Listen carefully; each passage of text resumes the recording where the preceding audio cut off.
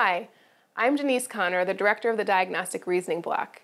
In this video, we'll introduce you to the clinical reasoning concepts the UCSF Bridges students have learned and offer some suggestions for how you might continue to coach them in their reasoning skills in the clerkships. Let's take a look at what we might expect from a Bridges student and what concepts apply. We'll start in the middle of an H&P presentation at the very beginning of the assessment and plan. Why don't you give me your assessment and plan? Okay. Um, Mrs. P is a 67 year old woman with obesity, hypertension, and diabetes, here with chronic intermittent abdominal pain. My top concern is that she may have biliary colic based on her risk factors and the on and off nature of the pain. I'm also considering peptic ulcer disease, but I think that's less likely. And I wouldn't want to miss appendicitis since that would be life threatening, but I think that's, that's unlikely given how long this has been going on. So, right now, my plan is to get an abdominal ultrasound to look for gallstones. How would you respond to this student? It's tempting to offer quick praise or jump to correcting mistakes and proposing your plan for the patient. Students can learn passively by comparing your plan with theirs, but they miss opportunities to identify what they've done well and should continue doing and where they can improve. We encourage you to point out specific strengths and areas for improvement in the student's clinical reasoning. Great, nice presentation. There's a lot in your presentation that I would like you to keep. And particularly, I liked how you started with a summary statement that included a problem representation. I also really liked how you gave me a prioritized differential diagnosis because that really helps me understand how you think about this patient. The problem representation is a clinician's mental model for the patient's problem. It informs what questions to ask the patient and what physical exam maneuvers to perform. The problem representation is refined throughout the encounter, separating relevant information from unrelated background noise that distracts from the problem. The summary statement or one-liner at the beginning of the assessment and plan includes this problem representation.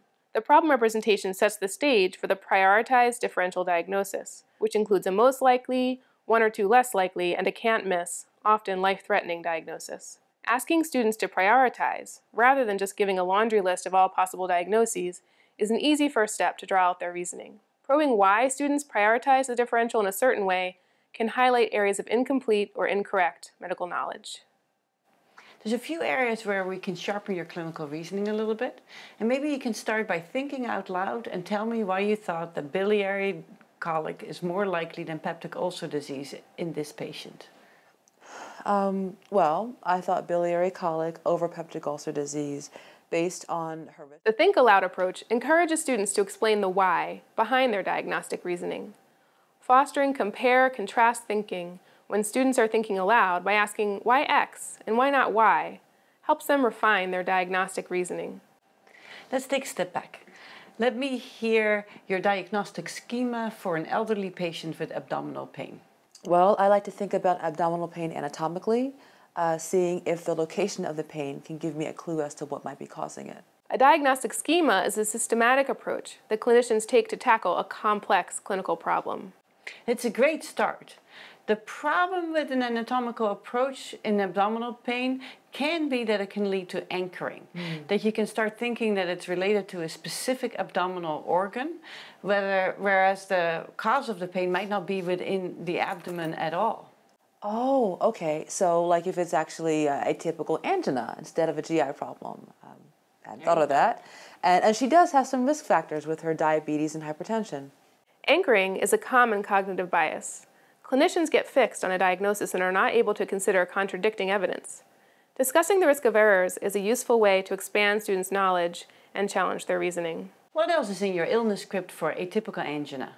Okay, um, it's often seen in women and people with diabetes, and I think the elderly, where instead of the usual substernal chest pain, they can have other symptoms like abdominal pain or sometimes nausea. Excellent. Illness scripts are our mental models of disease, the 3 by 5 cards we carry in our minds for different illnesses. The basic information scripts contain is fairly consistent. Who gets this disease? What's the time course and tempo? What are the key signs and symptoms? What's the basic pathophysiology? By eliciting students' scripts, you can uncover how they organize and prioritize information and help them refine their knowledge. The one thing that I would add to your illness script is that a typical angina, just like typical angina, is oftentimes exertional. And that would be really unlikely in other causes of abdominal pain. So you may want to ask her about that. Okay, makes sense. Thanks. Great. This brief introduction was meant to offer you some suggestions for how to coach clinical reasoning in the clerkships. If you'd like to learn more, please visit the Bridges Faculty Development website.